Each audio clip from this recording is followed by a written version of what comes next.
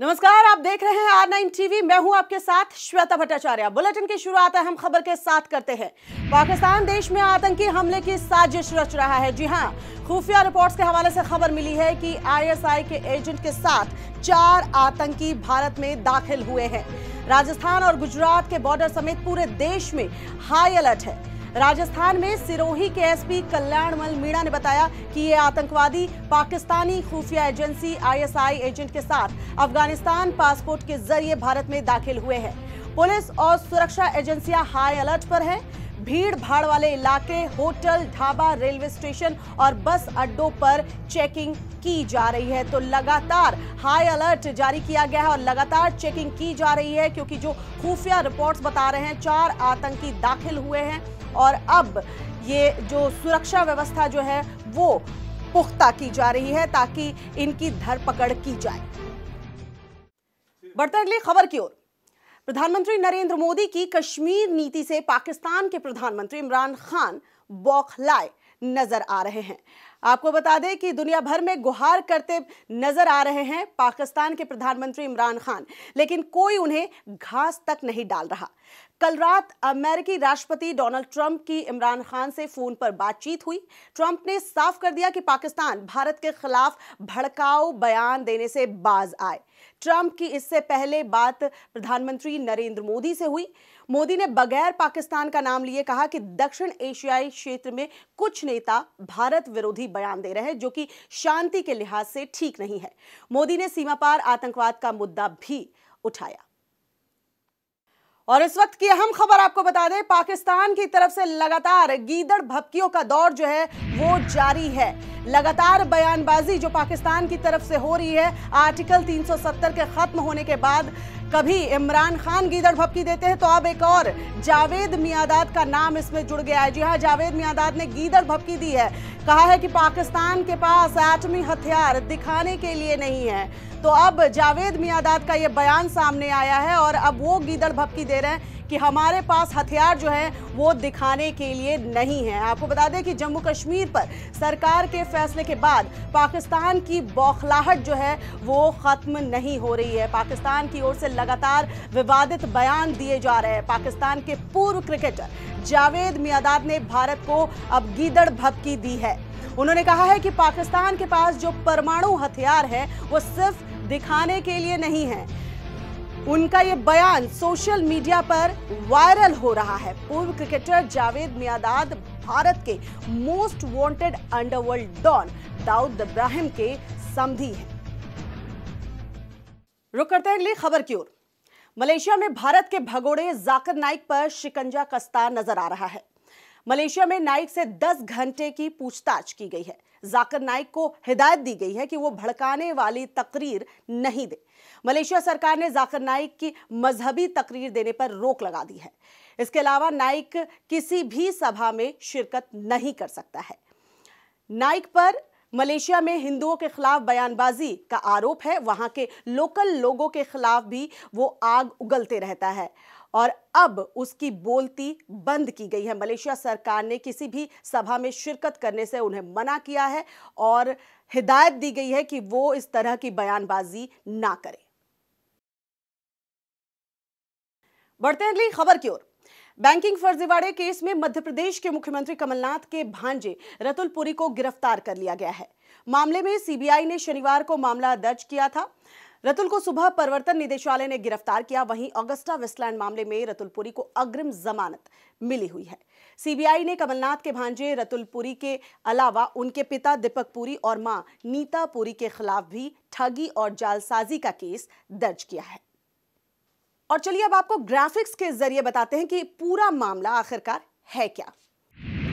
रतुलपुरी पर तीन सौ चौवन करोड़ रुपए के बैंक घोटाले का आरोप लगा है।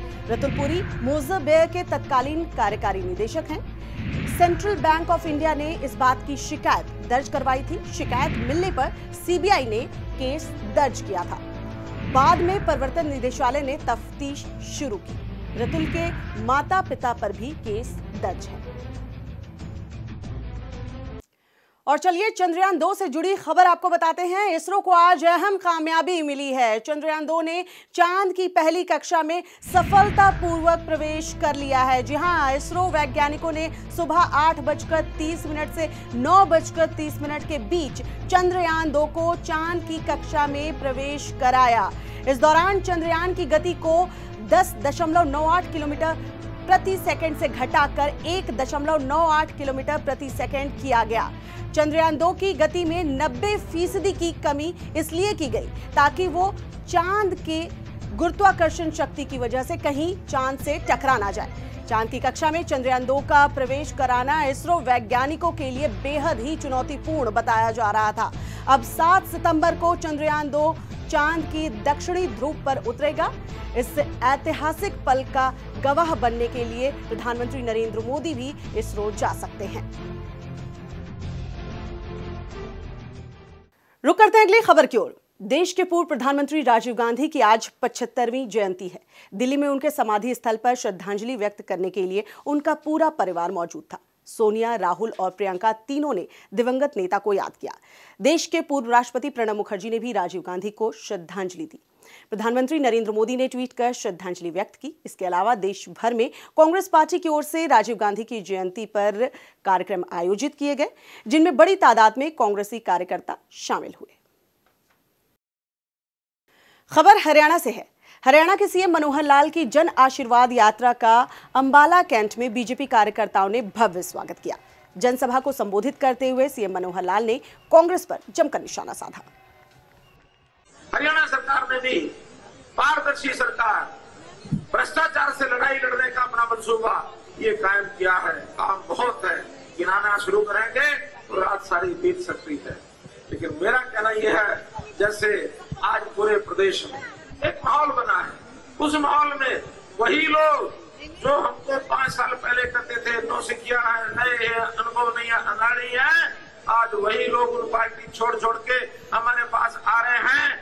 नहीं नहीं नहीं नहीं। अनाड़ी नहीं अनाड़ी नहीं। आप तो खिलाड़ी हैं। हम आपके पास आते हैं रेवाड़ी में पूर्व मंत्री कैप्टन अजय यादव ने एक शख्स को मारने के लिए जूता निकाल लिया, जिसका वीडियो अब वायरल हो गया है। बताया जा रहा है कि कैप्टन वोट मांगने के लिए गए थे। आयोजित सभा में एक शख्स ने उन पर नौकरी लगाने के नाम पर पैसे लेने का आरोप मढ़ दिया। अजय यादव इस आरोप से इतने गुस्से में आ गए कि उन्होंने उस शख्स को मारने के लिए अपना जूता निकाल लिया।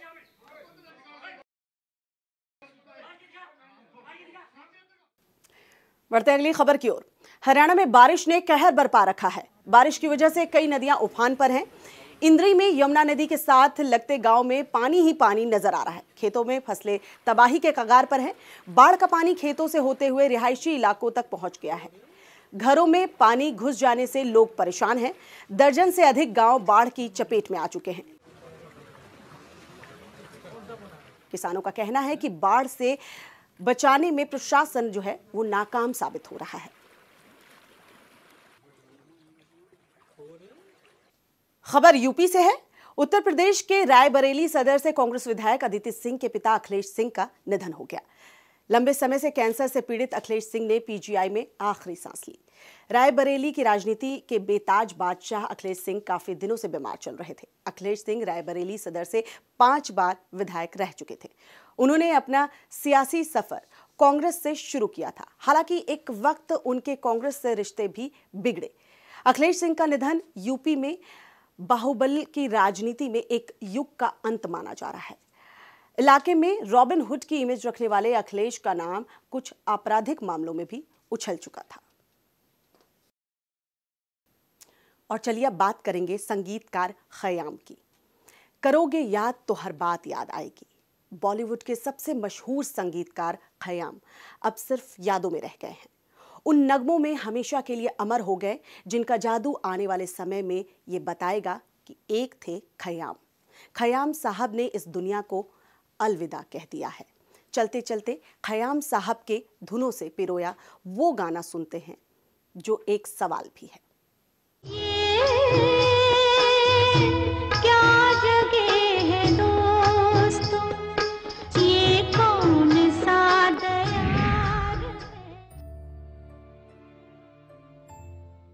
बुलेटिन में फ़िलहाल इतना ही। दीजिए इजाज़त। आप देखते रहिए आर नाइन टीवी।